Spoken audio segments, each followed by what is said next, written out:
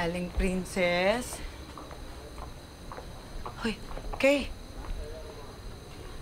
Ano yung suot mo?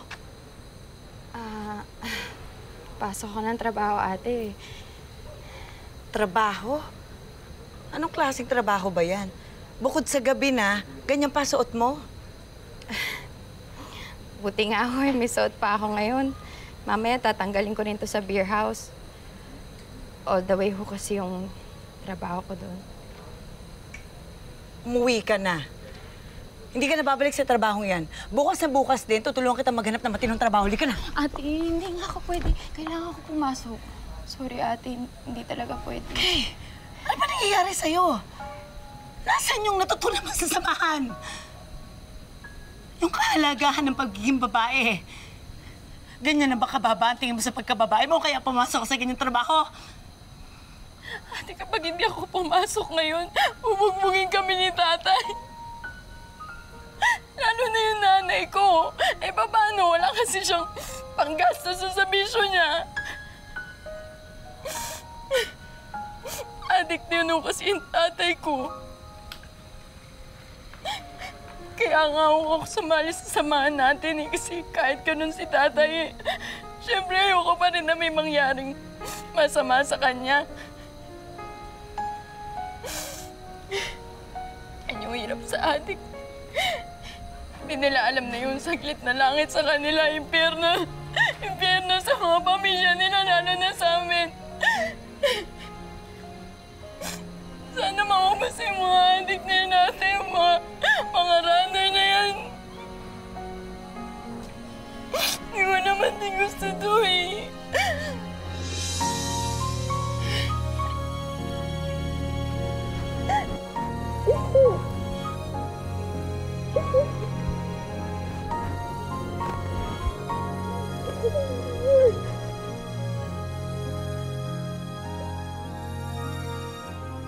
mismo sa pamamahay niya. Yung pamamahay niya hindi niya maayos.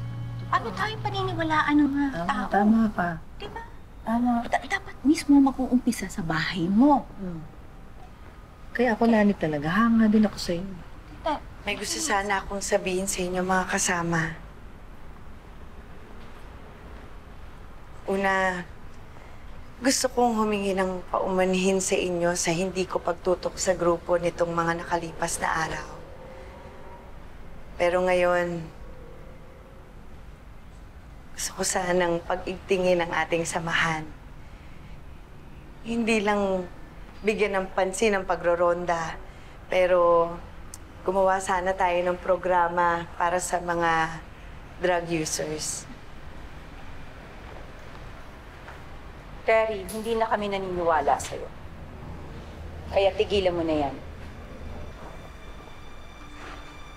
Terry, alam na namin ang lihim mo at ng asawa mo.